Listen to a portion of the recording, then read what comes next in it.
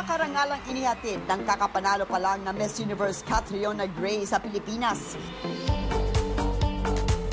Hindi rin nagpahuli ang pambato ng mga Pinoy pagdating naman sa male pageant. Nito lang ding Disyembre, nasunggit naman ng 22 years old na si Carlo Pasion ang titulo bilang Mr. Model Worldwide. Aside from Miss Catriona Grace, nasungkit rin po natin sa male pageant as Mr. World, Worldwide, sir. Yun yung pinaka-memorable sa akin. December yun, so parang gift ko na lahat sa mga Pinoy, kapwa ko Pinoy. Sino ang mag-aakala na ang Lodi ngayon pagdating sa ganda ng katawan at hikas ng tindig ay dating madalas asarin dahil sa pagiging patpatin? Um, naging ano ako ng, case ako ng bullying dati.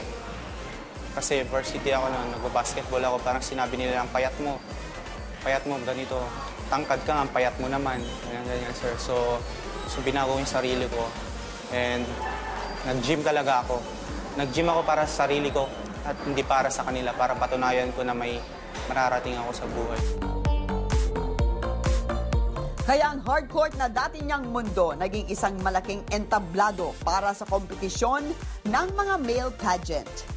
Nung 18 years old ako, nag-start ako model. At Sumali po ako sa Ilocos Norte, so naging grand winner ako doon. And then na-discover. So sumali ako ng Mr. Lawag sa province namin. Then nanalo ako sa Mr. Lawag 2017 last year. And then pumunta ako sa Misters of Filipinas, so national. So we have six titles. So nakuha ko yung Mr. Model Worldwide na isa title. Dahil dumarami na rin ang offer sa kanya para tumawid sa panibagong mundo ng showbiz, patuloy na pinapalagaan ni Carlo ang kanyang kalusugan at syempre ang kanyang physique. Actually, ito yung pinaka-favorite workout ko sa legs kasi nung payat pa talaga ako, sobrang payat po talaga ng legs ko, so pinaghirapan ko po talaga. So leg press. So try natin leg extension.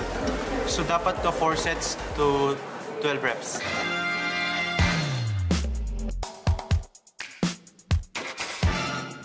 Itong second workout naman is for chest, so cable flies.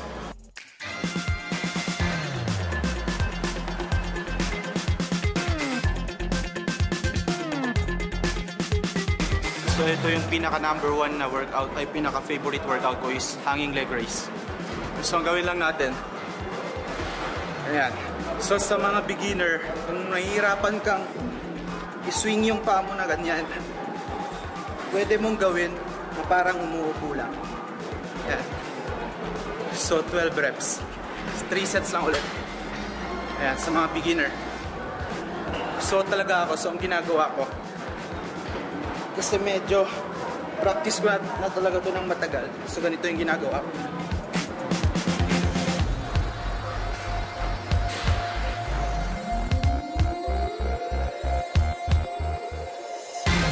Dito sa Sports U, Ticao, Ampanalo.